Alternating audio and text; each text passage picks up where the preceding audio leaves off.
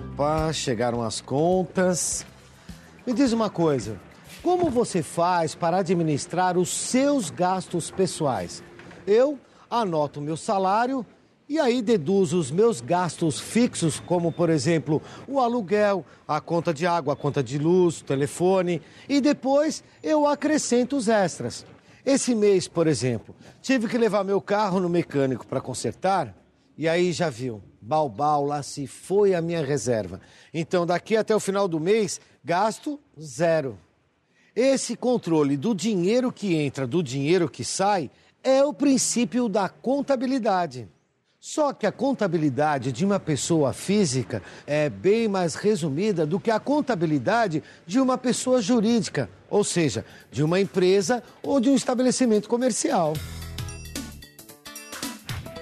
Contabilidade de uma empresa tem como finalidade o registro, por exemplo, dos investimentos em aplicações, em materiais para insumo, dos gastos com os salários dos funcionários, além da captação de empréstimos para capital de giro, pagamento de impostos e, havendo sobra de caixa, o investimento e participação em outras empresas.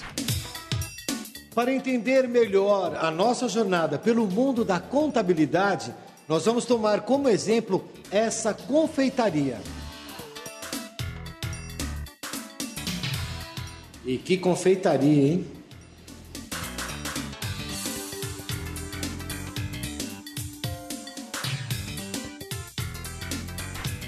Começamos ilustrando alguns termos com os quais você vai se deparar diariamente como auxiliar de contabilidade.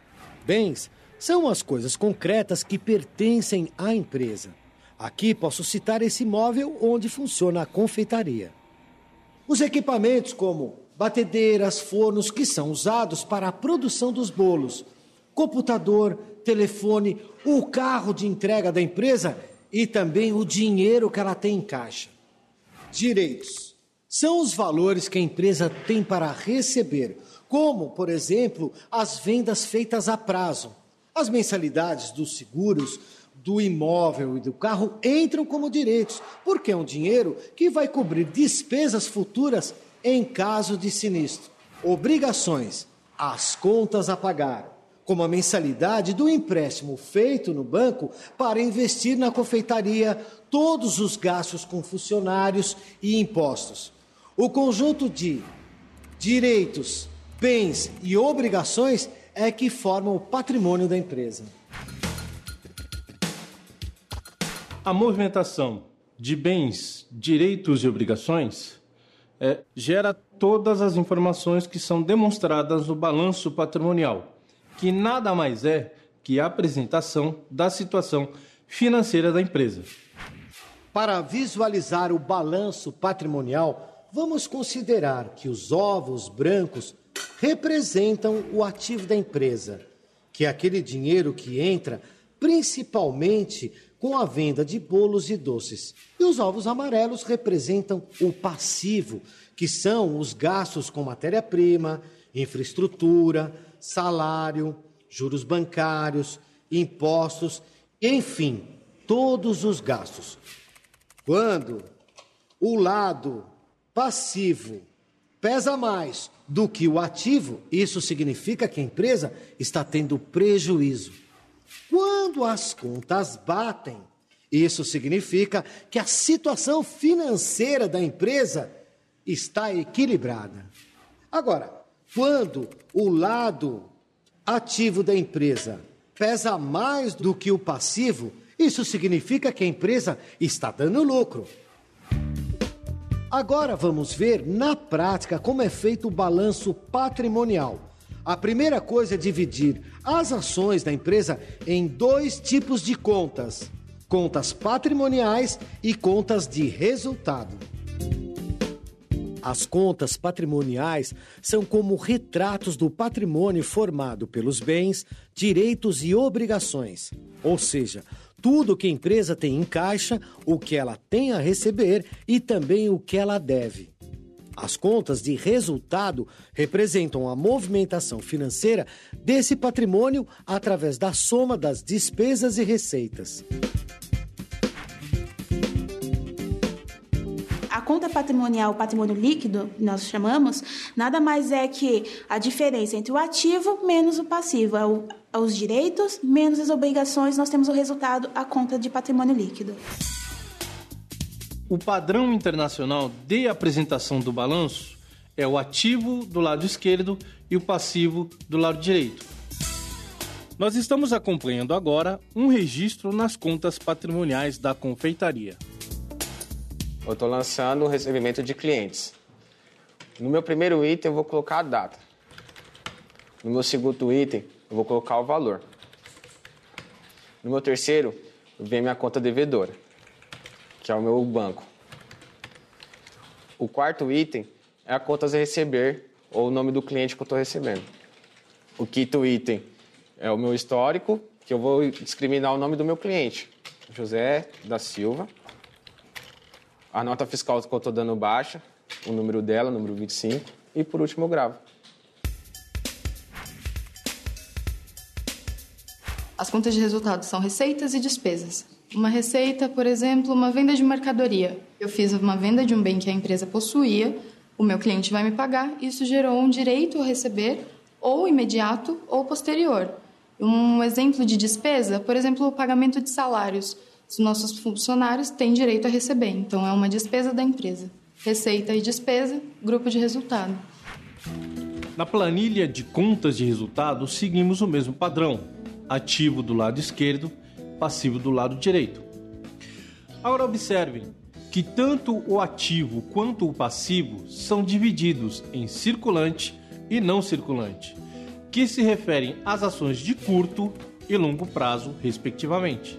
No ativo circulante da confeitaria entram os valores em caixa, dinheiro depositado em banco, valores a receber dos clientes e os impostos a recuperar. No ativo não circulante, vamos listar os bens: computadores, imóveis, máquinas e equipamentos, veículos e móveis e utensílios. Do lado direito, onde nós temos o passivo, estão as parcelas de empréstimo bancário, os salários e encargos com os funcionários, as contas de água, internet e telefone, normalmente registrados nas contas a pagar. Os impostos, como ICMS, nos impostos a recolher. Todos esses valores entram no passivo circulante, dado o seu vencimento de curto prazo. No passivo não circulante, listamos os impostos parcelados, como IPTU e IPVA. Notem que nesta mesma coluna temos também o patrimônio líquido, dividido em capital social e reservas. Antigamente, a gente fazia uma, tanto o balanço patrimonial como a DRE, que é a demonstração de resultado do exercício, nós fazíamos na mão, literalmente na unha mesmo. Hoje em dia, graças à tecnologia, nós temos sistemas ERPs, que são sistemas automatizados que a gente simplesmente lança os dados. E, digamos, com um simples clique, nós conseguimos gerar um balanço patrimonial e uma DRE, que é a demonstração de resultado para saber se a empresa teve lucro ou prejuízo. Observe que uma mesma movimentação é registrada tanto no ativo quanto no passivo. É o chamado método das partidas dobradas. O método das partidas dobradas, criado em 1494, é tão antigo quanto eficiente. O objetivo é demonstrar as alterações de patrimônio, mantendo o equilíbrio entre recursos e as suas aplicações. Para isso, o mesmo valor é lançado nos dois lados da planilha. O valor desse computador, por exemplo, é lançado no ativo porque corresponde a um bem da empresa, mas é lançado também no passivo porque representa um gasto. Com o balanço patrimonial da confeitaria preenchido, podemos saber agora a situação real da empresa. Se ela está tendo lucro, prejuízo ou se as finanças estão equilibradas. E para chegar a essa conclusão, nós precisamos calcular o patrimônio líquido.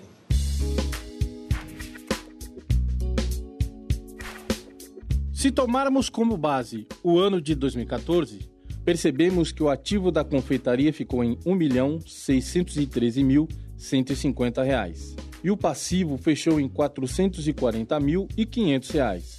Portanto, o patrimônio líquido em R$ 1.172.650. O resultado positivo de R$ 20.650 mostra que a empresa está dando lucro.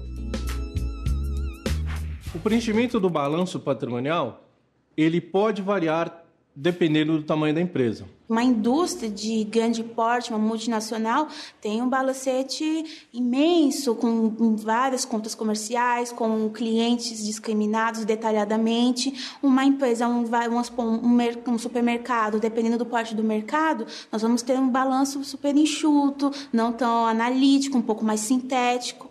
Então, varia muito em questão de quantidade e de, e de valores. Ainda bem que o vídeo está acabando, porque senão eu vou dar um grande prejuízo aqui na confeitaria. Esses bolos estão deliciosos. E olha, não é à toa que o balanço patrimonial mostra que a situação financeira da empresa vai muito bem.